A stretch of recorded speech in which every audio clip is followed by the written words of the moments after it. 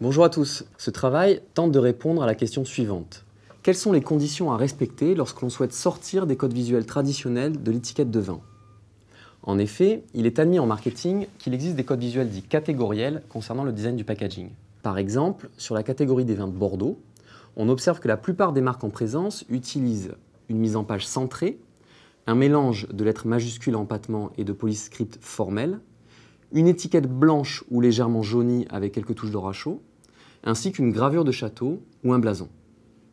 Il a souvent été dit que les opérateurs de la filière française auraient intérêt à innover en matière de design de l'étiquette en sortant des codes visuels que nous venons de décrire.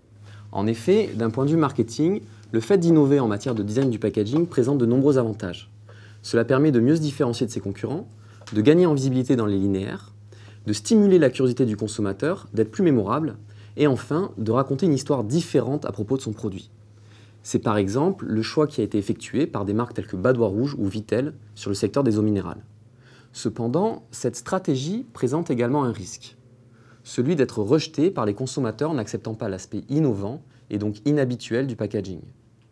Il est donc nécessaire d'étudier les conditions sous lesquelles il est possible de sortir des codes visuels d'une catégorie de produits.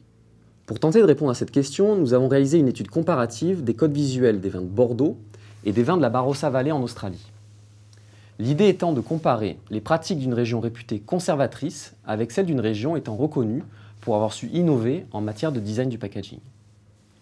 Alors quelles sont les principales conclusions de cette étude? Les résultats permettent de faire deux constats.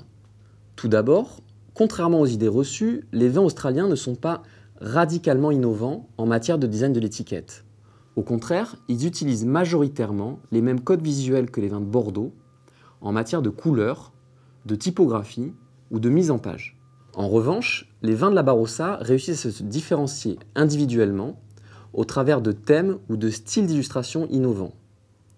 Ensuite, les résultats montrent qu'au travers des nouveaux thèmes et styles d'illustration introduits, les vins de la Barossa réussissent à développer des storytelling de marque plus variés que les vins de Bordeaux.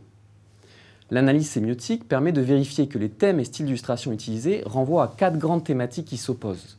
Une partie des étiquettes fait le choix de représenter le site de production, tandis qu'une autre catégorie met en avant le créateur du vin.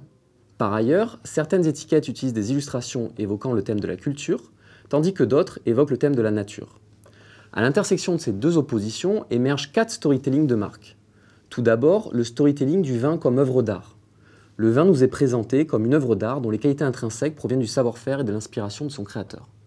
Ensuite, on retrouve le storytelling du vin paysan, le vin nous est cette fois-ci présenté comme un produit rustique dont les qualités intrinsèques proviennent du travail artisanal d'un vigneron disposant d'une connaissance et d'une connexion privilégiée avec la nature.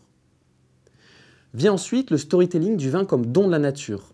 Ici, le vin nous est présenté comme un produit naturel dont les qualités intrinsèques proviennent des caractéristiques exceptionnelles d'un environnement naturel spécifique.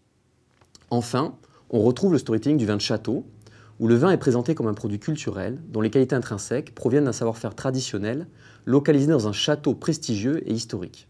Alors, en quoi ces résultats sont intéressants? L'objectif de l'étude était d'analyser les conditions à respecter pour sortir des codes visuels d'une catégorie de produits. L'étude des pratiques des vins de la Barossa suggère deux éléments de réponse. Tout d'abord, il semble nécessaire que le degré d'innovation du design du packaging reste modéré. Ensuite, il apparaît que les nouveaux thèmes et styles d'illustration introduits par les vins australiens permettent de relater des storytelling de marque pertinents avec la catégorie de produits. Au-delà du niveau de nouveauté perçu, ce qui importe est le contenu sémiotique de l'étiquette, soit l'histoire qu'elle permet de raconter.